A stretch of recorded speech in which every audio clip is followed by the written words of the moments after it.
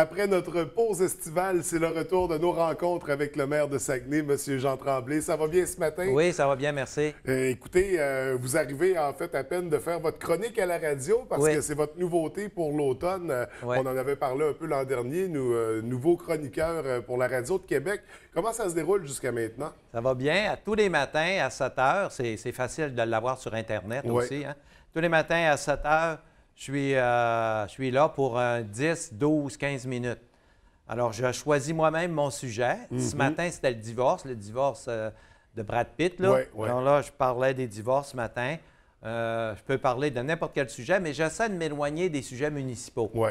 autant que possible. Pour pas tomber en conflit d'intérêts. Aussi, puis c'est vraiment pas une chronique municipale. OK. Ça ne veut pas dire que des fois, il n'y a pas un une activité municipale à Québec, par exemple, parce que je parle Mhm. surtout, de- je suis à Québec, donc je, je suis chez nous, mais avec les appareils électroniques, ça donne exactement le même son que si j'étais en studio à Québec. Parce que vous êtes équipé à la maison là, Oui. pour faire ça.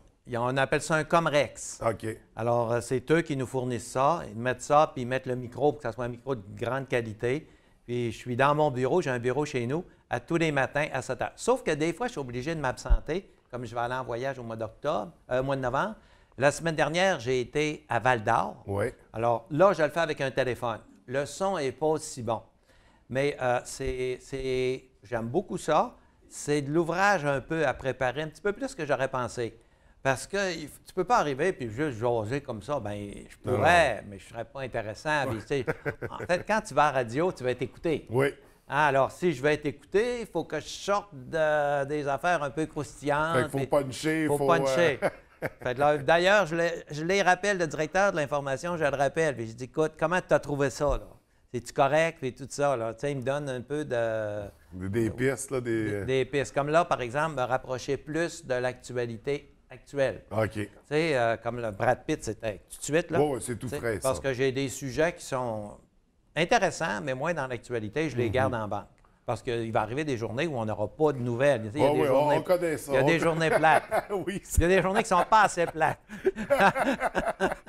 Alors, c'est ça. J'aime ça. Franchement, j'aime ça. C'est- Euh, Une belle aventure que vous débutez. Est-ce que c'est réellement le début d'une carrière médiatique? Ben, le, le début d'une carrière. On vous voit dans les médias de- de- depuis euh, plus d'une décennie, mais est-ce que là, c'est le lancement de votre vie média- médiatique? Écoute, je ne sais pas. On ne sait pas comment on va être perçu. Quand j'ai commencé comme maire, honnêtement, là, je ne connaissais pas ça. Puis je me, j'étais comme, je me disais, je sais pas, je- vas-tu être bon? Vas-tu être capable? Tu ne sais pas vraiment, tu sais. Je- D'ailleurs, actuellement, il y a des gens qui se- se- sont après à réfléchir là, pour se présenter à la mairie. Ouais. Euh, puis il y en a qui m'ont parlé. Puis ben, comment ça marche, puis tout ça. Tu vois qu'ils ont la même insécurité. Je suis sûr que quand tu as commencé comme animateur, tu t'es dit, je vais-tu pogner? Pourquoi que Michel Barrette, il pogne? Pourtant, Michel Barrette, il n'y a rien d'extraordinaire, mais il est sympathique, ça marche. Alors, moi, est-ce que ça va marcher à la radio? Je ne sais pas. Je vais avoir les premiers résultats au mois de décembre. Au mois de décembre, là, les autres font des espèces de sondages, là, des BBM. Là, puis Oui. là, au mois de décembre, ils vont commencer à me dire comment, euh, si euh, les cotes sont bonnes. C'est sûr que je n'irai pas ça. Mais je ne pourrais pas non plus. Le fait de faire une station par jour, c'est pas euh, 10-15 minutes, c'est pas une carrière. Il faudrait que j'en ai plusieurs. Puis je- actuellement, je suis très limité parce que je ne peux pas faire des stations comme Kik, je ne peux pas. Ouais. Radio-Canada, je ne peux pas. TVA, je ne peux pas. Il ne faut pas que ça soit une station qui a déjà eu une relation avec la ville ou qui va avoir une relation. J'ai été chanceux. Il y en a deux qui m'ont demandé. Un, je ne pouvais pas. Puis celui-là, je pouvais. Mais ça a été toute une histoire avec l'éthique. là. Est-ce que tu as déjà eu des relations avec eux autres? Est-ce que tu vas lui donner des contrats? Il ne faut pas que j'aie d'intérêt. Oui, oui. Il faut, faut- faut garder les mains propres. Faut garder les mains propres. lier, ouais. Ouais. C'est- tout à fait normal. On Ouais. comprend bien cet Comme aspect-là. ici, je pourrais pas. Je pourrais, mais je ne serais pas payé. Oui, oui. Ben, comme, comme on fait euh, toutes les deux Comme semaines, là, finalement. Donc, Tandis euh, que là-bas, je suis payé. Oui, oui. Alors, on va poursuivre. On va y aller dans les dossiers municipaux un peu parce que Ouais. c'était- c'était ma petite gâterie ce ouais, matin dans l'entrevue. Euh, on va revenir, en fait, sur l'UPAC qui, était, euh, qui, qui a fait des perquisitions la semaine dernière. On vous a entendu dans les médias commenter, en fait, même euh, euh, la- euh, parler de votre hypothèse de- du pourquoi ils étaient là. Comment ça s'est déroulé? là? Aujourd'hui, avec le recul, comment on peut dire que ça s'est passé? Ça, c'est, c'est pas plaisant. Hein, parce que tu te poses bien des questions. Tu es Ouais. après déjeuner, tu as une grosse voix qui t'appelle. Bonjour, je suis le co- caporal ou caporal, là, un tel, puis je suis à l'hôtel de ville, c'est l'UPAC. Ah, là, là, t'as les deux jambes sciées, là. C'est quoi? Tout te passe dans la tête quand ça fait 20 ans que tu es maire.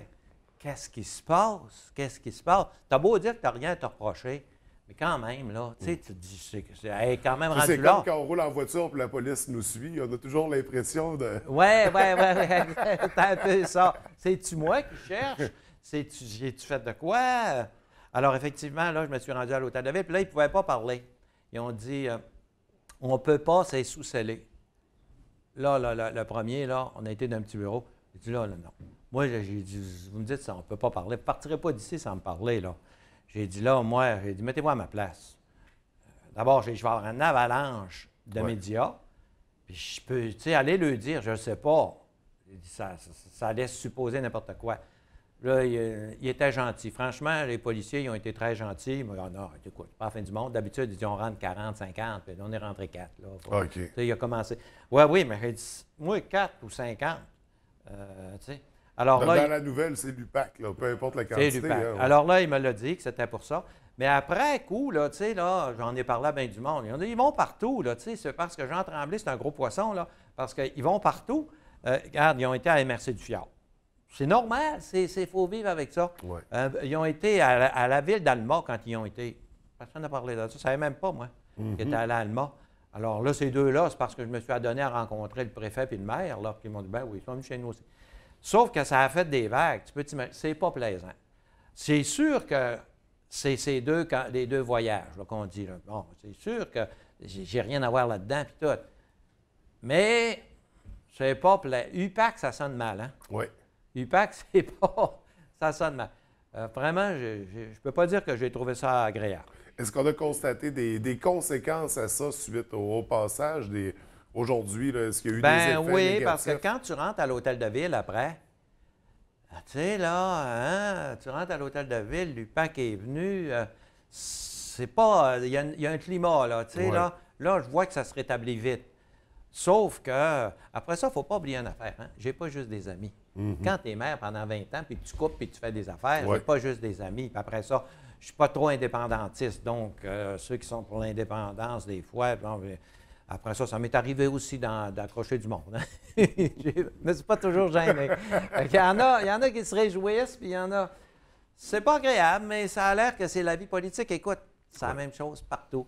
Hein, Ils sont allés dans la maison de M. Couillard.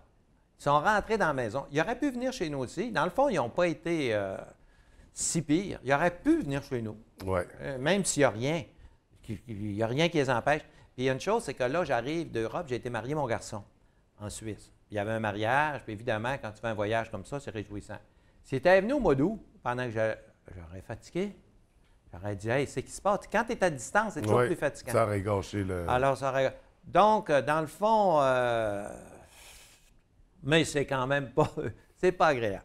Oui, oui, on comprend. Surtout quand tu dis j'ai rien à voir là-dedans. Mhm. J'avais beau le dire, j'ai rien à voir là-dedans, mais les deux conseillers, c'est pas eux autres qui étaient à TVA, là. C'est pas eux autres qui étaient à Radio-Canada. C'est toujours le maire. Oui. hein? Ça serait un employé de la ville qui aurait fait ça. C'est le maire pareil. Oui, oui. Tous les projecteurs étaient tournés vers vous. Ben oui. Et même quand c'est même pas la ville, regarde, ils sont allés à l'OMH il y a 5-6 ans, je sais pas trop, là. Parce qu'un employé, là, il s'était passé des affaires, un employé avec les matériaux, là. Je connais même pas tout le détail. Ah, mais là, regarde, là, là, ils sont déjà allés, puis il y a de... Oui, mais j'ai rien à voir avec l'OMH, là. J'ai rien à voir là-dedans, puis c'est un employé. Ça serait la même chose si un employé de la ville fait des choses malhonnêtes, mettons, qu'il il joue d'un compte. Ça peut arriver sur 1500 employés, ça arrive à Rio Tinto, ça arrive partout. Il reviendrait. Là, je dirais, ah, encore, ils reviennent encore. Ça, de- ça devient. euh, c'est lourd, ça, cet, aspect-là.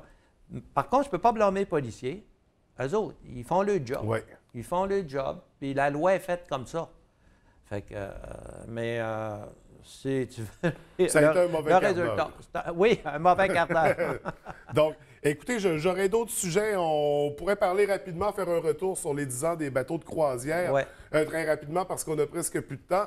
C'est- une fierté, vous, 10, Ah 10 ans de, de cette aventure-là. Comment vous avez célébré euh, la semaine dernière? Ben, j'étais à Amos, en plus. C'était juste à Val d'Or. J'étais à Val d'Or, j'avais une réunion importante de l'UMQ, donc j'étais pas là. Mais je vais me reprendre quand le Queen Mary 2 va venir Oui. le 6 octobre. on va faire une fête. Oui. Puis l'année prochaine, on a 50 bateaux. Ça va en montant, en montant tout le temps. Alors, euh, c'est- c'est- je pense que ça va être une des belles réalisations, en tout cas. Oui, oui, absolument. Écoutez, c'est ici qu'on va s'arrêter pour cette semaine. Nous, on Ah. se revoit dans deux semaines. Dans deux semaines. Alors, euh, d'ici là, je vous souhaite une très belle journée puis à très bientôt. Merci.